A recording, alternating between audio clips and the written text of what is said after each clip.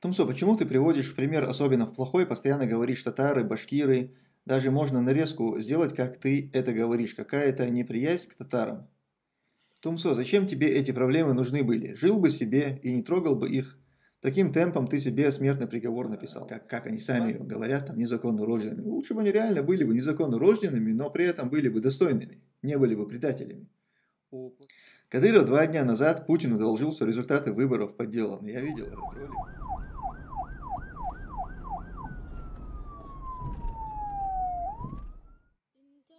Тумсо, что можете сказать насчет талибов в Афганистане? Смогут ли они создать чисто шариатское государство или же там будут бандитское государство?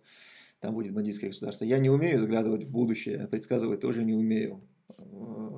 Предугадывать тоже я не силен в этой теме, поэтому не знаю. Давайте будем надеяться, что у них получится создать нормальное, развитое правовое государство. Это самое важное. Надеюсь, наконец, за эти последние лет 50 уже, по-моему, они воюют. Э, для афганского народа наступит некий мир и процветание. Очень на это надеюсь. Тумсо, зачем тебе эти проблемы нужны были? Жил бы себе и не трогал бы их. Таким темпом ты себе смертный приговор написал. Бат Металл, э, ты, видимо, не знаешь начала моей истории. Дело в том, что я так и жил, никого не трогал.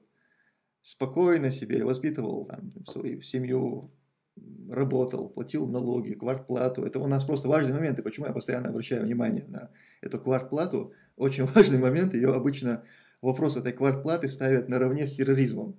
Они, я помню не одно выступление различных э, кадыровских чиновников, которые говорили, вот они не платят квартплату и уезжают в Сирию воевать. И ставили это на один уровень. Поэтому я платил квартплату изрядно никакой задолженности не было. Да, иногда там с ними, правда, спорил, отопление там и так далее. Были какие-то спорные вопросы, но в итоге все равно приходилось им платить, потому что добиться справедливости в республике невозможно. В общем, был таким обычным парнем. И вот в один день до меня докопался кадыровский чиновник и его родственник по совместительству. На тот момент он был, а, можно сказать, третьим, наверное, человеком в республике. А, Ислам Кадыр. Он до меня докопался, прицепился к моей бороде, начал обвинять меня в том, что я вахабит, что я какой-то переворот готовлю, что я там какую-то партию политическую создал, что я недоволен ими и так далее. В общем, я был похищен, и с этого началась моя история. Если бы не этот момент, я бы и дальше так жил, никого бы не трогал. Да, конечно, было нелегко, я внешностью своей показывал, что я не на их волне. Да, я, наверное, осознанно пошел на этот шаг, я не стал как-то шифроваться. Да, было сложно, нужно было скрываться, спокойно там ходить по центру Грозного, гулять я не мог. Были такие моменты, но тем не менее я бы готов был вот так жить. И никого бы не трогал, ни о чем бы не говорил, спокойно бы жил в сердце, это все бы порицал, я бы их ненавидел, да, но я бы не переходил им как-то дорогу, то есть какими-то своими действиями. Они перешли эту дорогу мне. Ну, когда у меня появилась возможность хотя бы словом противостоять им, я стал делать это словом. Будет возможность противостоять им своими действиями, буду противостоять действиями, иншаллах, нечего предъявить. Мне не нужно говорить о их матерях, мне достаточно их предательства, я буду говорить о их предательстве. Нет ничего хуже предательства. Лучше бы они были бы детьми там, э, гулящих женщин, э, как, как они сами говорят, там, незаконно рожденными. Лучше бы они реально были бы незаконно рожденными, но при этом были бы достойными, не были бы предателями. У плохих родителей могут родиться достойные дети. У гулящей женщины тоже может родиться достойный сын. Он может э, быть праведным человеком. Поэтому лучше бы они были такими, и, и, и они были бы нашими братьями, мы бы не посмотрели на их матерей.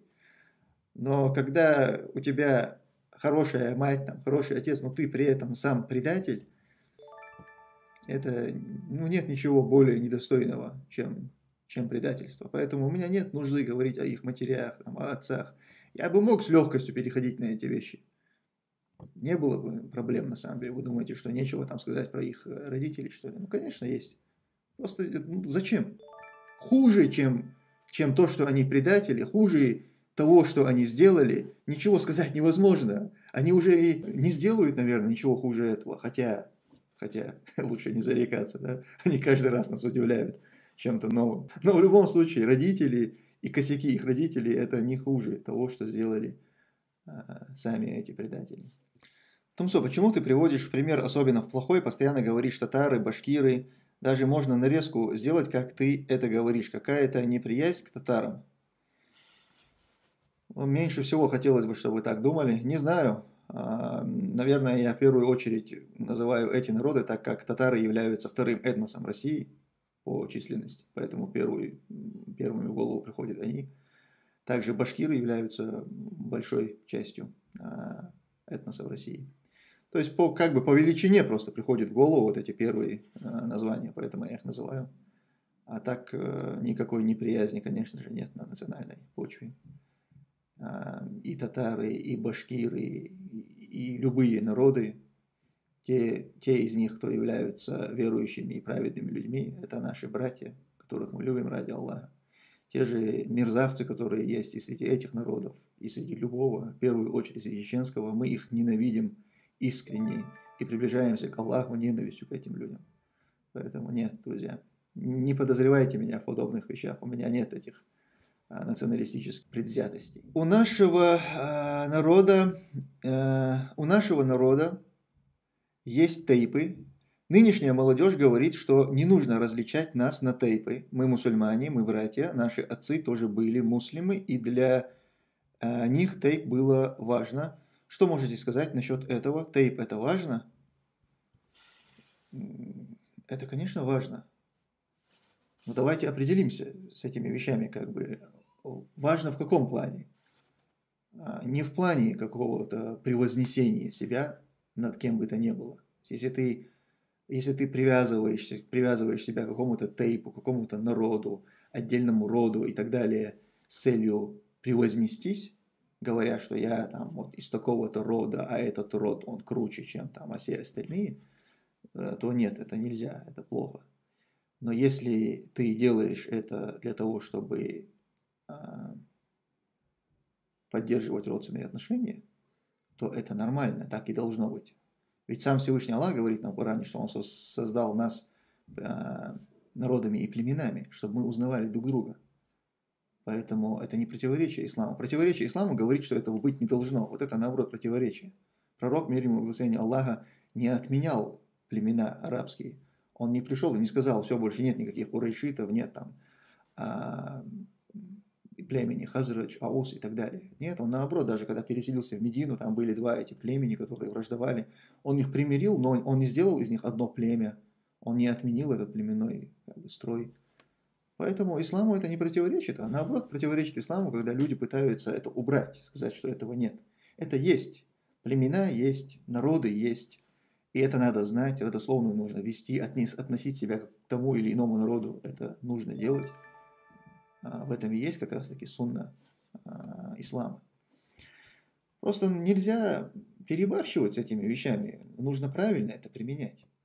Кадыров два дня назад Путину доложил, что результаты выборов подделаны. Я видел этот ролик.